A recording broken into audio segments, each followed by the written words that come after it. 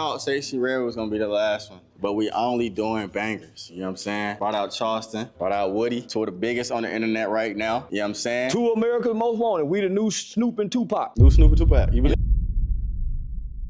Nah. Oh. You gotta find some like snitch comparisons. Like, damn, I can't really think of no snitches off the top. The new six nine and what's the other nigga?